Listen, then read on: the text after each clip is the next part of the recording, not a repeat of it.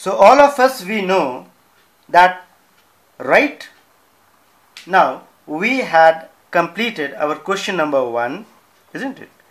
Question number 1 was completed where we were asked to find whether they are in proportion isn't it? We were asked to find whether they are in proportion or they are not in proportion.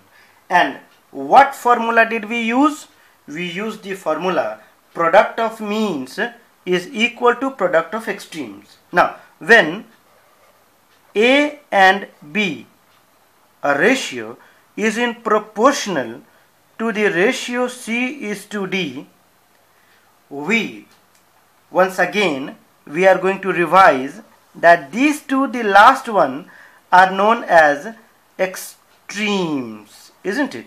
While the inner one these two the inner one are known as means. And what formula did we use? We had used that a into d a into d the last two that is the extremes is equal to b into c the inner two isn't it? So if you need to find out d over here the last one this is known as the fourth proportional. Fourth f o u r t h fourth proportional. So my dear if this d is not given then how are you going to find d? I hope you can find it by dividing b into c by a means when you transpose a onto that side it will get divided.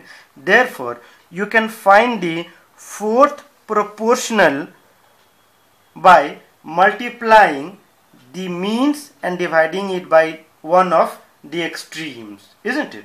So we shall be using the same formula in question number 2 which states that find the fourth proportional when 3, 12 and 4 are given.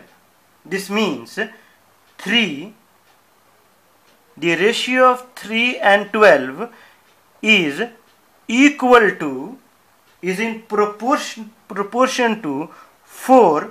I do not know the fourth one. Therefore, I am going to keep the fourth one as x so I need to mention let fourth proportion be proportion be x. Now can you use the formula product of means is equal to product of extreme so you will have to write it before you start your work.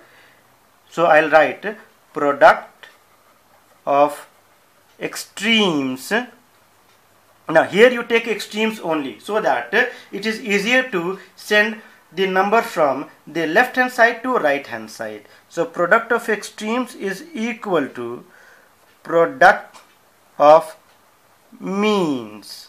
This means better 3 into x will be equal to 12 into 4.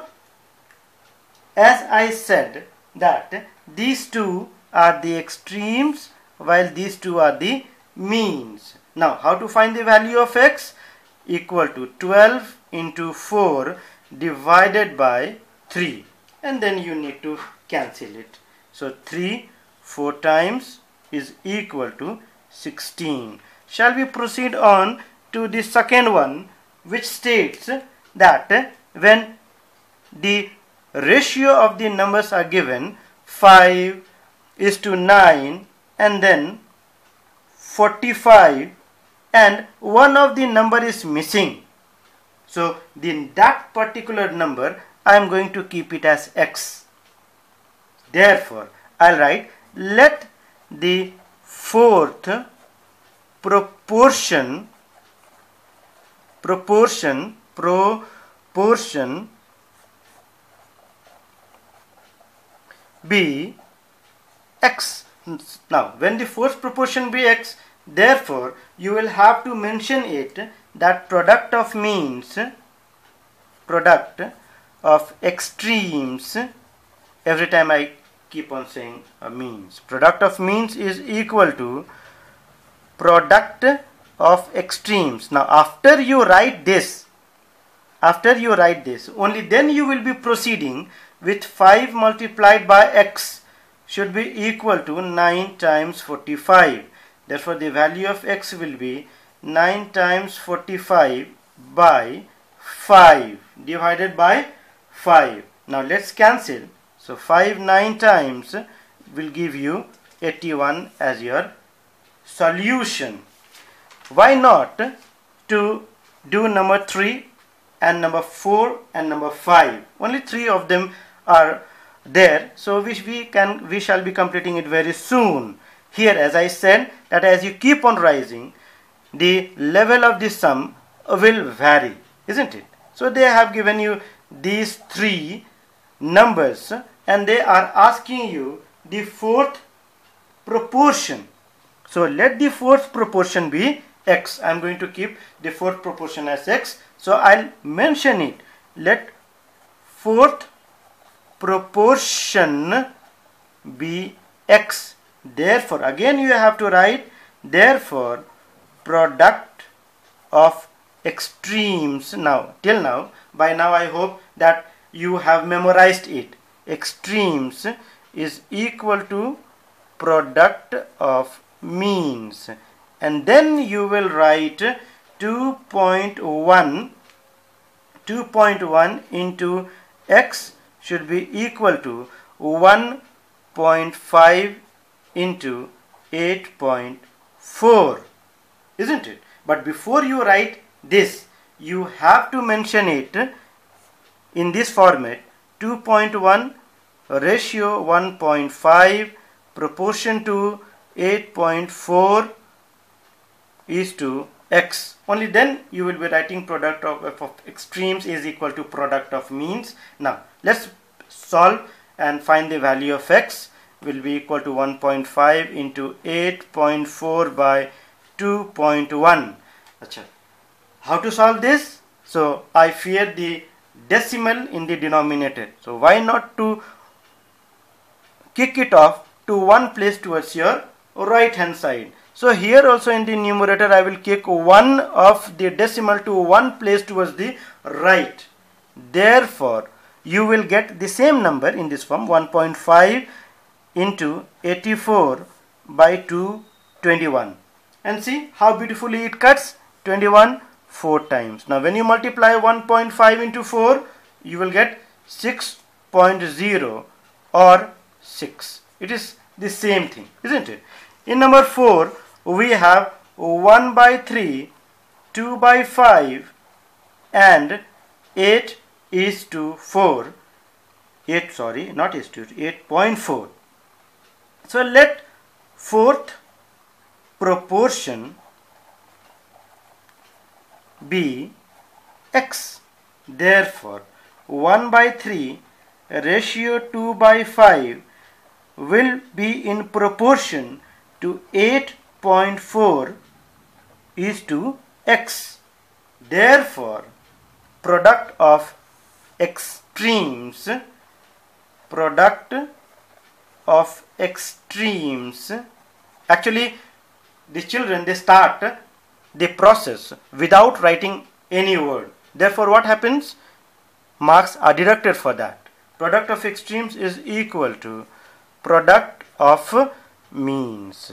So presentation matters before because you are you are not giving any government examinations isn't it? Or any other examination which need only answer in the OMR sheet. Let me multiply. 1 by 3 into x is equal to 2 by 5 into 8.4 therefore the value of x will be equal to better 2 by 5 into 8.4 now divided by 1 by 3 so either you write divided by 1 by 3 or it's better to write multiplied by 3 by 1 because you are transposing it. So when you are transposing it, it becomes divided by 1 by 3. and divided by 1 by 3 you again change it into its reciprocal form. So let's see on multiplication you will be getting 50.4 by 5 so 50.4 by 5 will give you 10.08 now here many of you will be making mistakes. Therefore let me cancel. Here 5 10 times 50 let me put a decimal over here. Now will this 4 go with 5 no.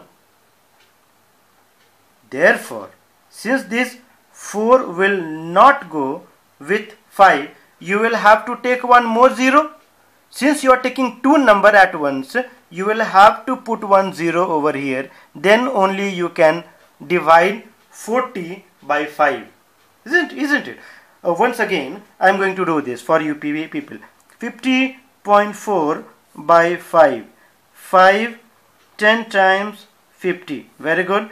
This 4 will come over here which will not go. Therefore I need to put one 0 over here. Then again I'll take I can take one 0 over here which will come down and then 8 times 40 so do not make any mistake over here isn't it? The last one therefore you need to have little patience. Why? Because it's slightly different. 1 hour 40 minute okay? Then 1 hour here we have 4 hour 40 minute. Then we have 1 hour 10 minutes and then you have 16 hours. Okay. Why not before we proceed why not to convert this into minutes? So this 4 hour 1 hour is equal to you know 1 hour is equal to 60 minute. So when 1 hour equal to 60 minutes so 4 hour will be 4 times 60 plus 40 minute. Similarly, here you have 1 hour means 60 minute plus 10 minute. And here 16 hour means 16 into 60 minute. Okay.